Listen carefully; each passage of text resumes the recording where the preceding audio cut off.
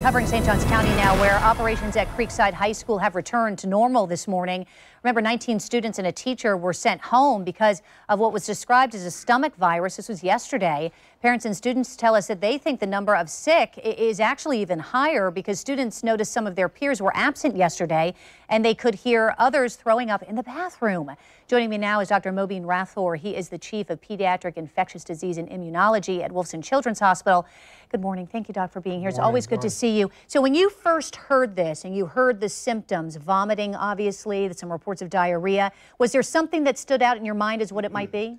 Well, I think it's obviously an infection is always the thing that you think about, and the infection could be different types. And of course, a viral infection in the middle of winter is what you uh, think is most likely that can cause such uh, infection that spreads, looks like, qu quickly. So uh, uh, the, the fact that so many students appear to have been sickened at the same time, does that, does that suggest something to you? well, it, it could be from a co common source, common food source. You know, you hear about that a family picnic or something they have and they get usually in the summer. Uh, but in this time of the year, it could be uh, a viral, norovirus can do something like that that we hear usually on the cruise, uh, ships. cruise ships and such. But influenza can also cause diarrhea.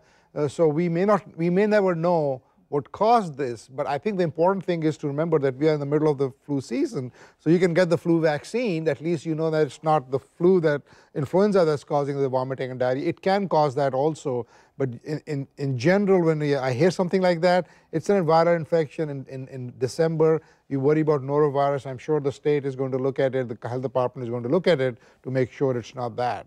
So you have parents now whose children, for example, are not sick, who are hearing this this morning thinking many of them decided not to send their children from what we're hearing to school. But that said, for those who did go to school today, or for those who maybe came into contact with the students who are sick, what should they be doing? Well, I think the first important thing is if your child is sick with vomiting and diarrhea, they should not go to school. Right. Keep them home.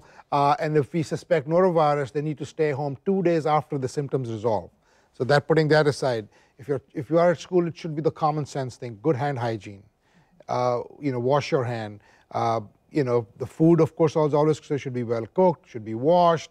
Uh, if somebody is sick, uh, don't go in close to them. They should be sort of sent home right away. Uh, other than that, there's not a whole lot you can do. If it's influenza, which can cause that. And if you've not gotten your vaccine, go to your doctor and get the vaccine. That's the one thing you can do to be sure that influenza is not responsible, which can cause, you know, we usually say influenza causes respiratory infections, pneumonia, but influenza can cause vomiting and diarrhea also. So I think that's one thing you can also do, especially since we don't know exactly what's causing it right now. I, I bet those parents and students are probably concerned because, you know, how are these kinds of viruses, as an example, spread? Do you have yeah. to worry if you were sitting four seats away from the student that you heard got sick or, or that you shared a drink with them or something so, like that? So two different things. For If it's influenza causing this, yes, it's the context. So at least three to six feet away from them would help.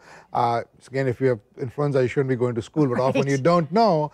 Uh, if it's a foodborne illness like norovirus or a staph infection that's causing that, then it's good hand hygiene, you know, uh, make sure that there's, uh, you don't eat the contaminated food. But I think that the uh, good hand hygiene and well-cooked food, uh, especially if it's seafood, uh, which can cause norovirus infection, washing all the vegetables and all the fruits, uh, washing them well is another thing. other than that, you know, just your usual, if you're coughing, cover your cough with your elbow. Uh, and again, as I said, we are in the midst of influenza season, uh, whereas norovirus and other infections, they are episodic, they occur and we can control them. Uh, influenza goes on for a long period of time, so it's very important. Unfortunately, we don't have a vaccine for norovirus. We are working on it. Once we have that, that'll be a good, good thing to get too. Yeah, so it's, it's interesting because then um, if someone, let's say, went to school with a child who has been sick and it, they're not feeling any symptoms, is there a time period by which they might, you know, are they out of the woods, so to speak, or, you know, do their parents need to kind of pay close yeah. attention to them for the next couple of days? Well, I think they need to pay close attention next couple of days. Uh, the, the challenge here is we don't know what's causing it's this. always the hard part. Right, and I think if it's the staph infection, toxin mediated, that usually comes within 24 hours of and then it resolves fast. Norovirus, norovirus has tendency to last a little bit longer. So yes, you can, I mean, with the weekend coming, keep an eye on your kids, make sure they're, you know, if they're having diarrhea or vomiting, you know, keep them well hydrated. Uh, but I think, uh, again, if, if, they come to your house, make sure that you are following good hand hygiene. Uh, uh, hand hygiene techniques because it can spread in the household also, Yeah, and you don't want everybody else in the house getting sick, particularly if there's any young children there. especially the holidays come. Oh, my goodness. Dr. Rathore, as always, thank you for being here. Do appreciate it. We'll be right back.